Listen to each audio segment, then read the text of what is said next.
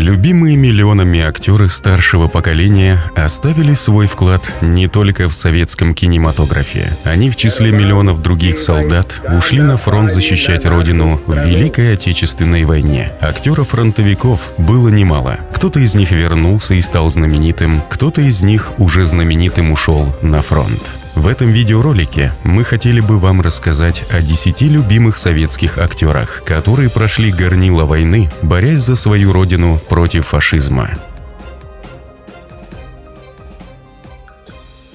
Смотреть на меня! Смотреть на шефа!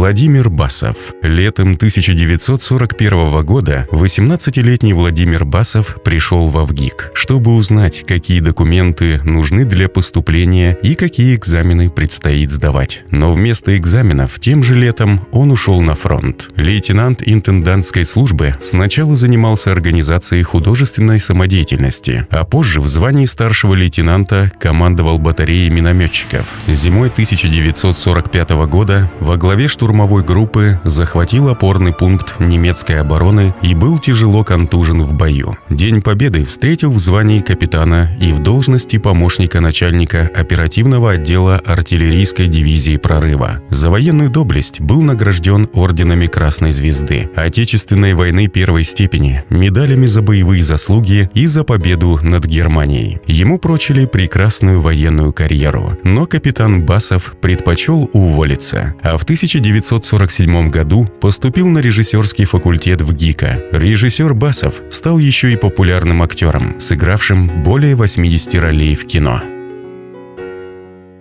Да, кончится война. Вернемся мы сюда. Пройдем по этим местам. Кто остался в живых?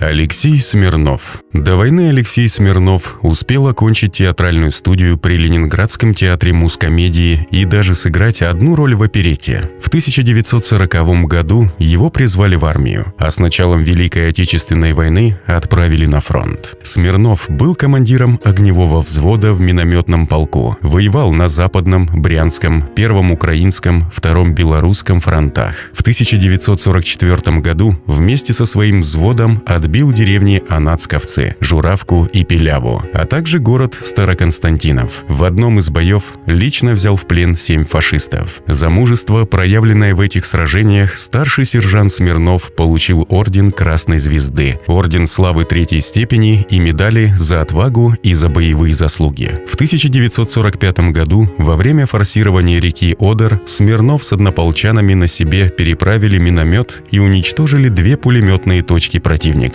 расширив плацдарм для советских войск. За этот подвиг он был награжден Орденом Славы второй степени. До Берлина старшине Смирнову дойти не удалось. Получил контузию и после госпиталя его комиссовали. В 1946 году Алексей Смирнов вернулся на сцену родного театра мускомедии, а вскоре перешел в Ленгосэстраду. В конце 50-х начал сниматься в кино и вскоре стал одним из самых узнаваемых и любимых актеров второго плана. Хочется пожить по-человечески. Анатолий Попанов. До войны актер самодеятельного театрального коллектива успел сняться в эпизодах шести фильмов. В 1940 году его призвали в армию, а через год перебросили из Оренбурга под Харьков. В первом же бою из 42 человек осталось в живых лишь 14. В звании старшего сержанта Анатолий Попанов командовал взводом зенитной артиллерии. В 1942 году под Харьковом получил тяжелое ранение. В блиндаж, куда они с однополчанами зашли погреться, Греца попала бомба. Живым откопали только Попанова. Его контузило и взрывом оторвало два пальца на ноге. В 21 год актер стал инвалидом третьей группы. Был комиссован и несколько лет ходил с тростью. Вернувшись в Москву, Анатолий Попанов поступил на актерский факультет ГИТИСа. В институте сильно не хватало юношей. Большинство было на фронте. Поэтому на его хромоту и трость не обратили внимания. В конце 40-х он уже был актером театра сатиры, а в 60-х – известным киноактером. Здравствуй, Люба. Я вернулся. Иннокентий Смоктуновский. С началом Великой Отечественной войны отец Иннокентия Смоктуновского ушел на фронт, оставив 16-летнего сына за старшего. В 1942 году он работал в госпитале при размещенной в Красноярске воинской части и одновременно был статистом в местном драматическом театре. В начале 1943 года поступил в военное училище в Вачинске, но вскоре был пойман за собиранием картошки на общественном поле и отправлен рядовым на Курскую дугу участвовал в освобождении Киева, под огнем форсировал Днепр с боевыми донесениями в штаб. Во время одного из сражений под Житомиром попал в плен, но успел сбежать по дороге в германский лагерь. Через заснеженный лес обессиленный Смоктуновский добрался до поселка Дмитровка, где его выходила семья местных жителей, с которой потом он общался до конца жизни. Окрепнув, Смоктуновский присоединился к партизанскому отряду, а когда отряд объединился со стрелковым полком, стал командиром роты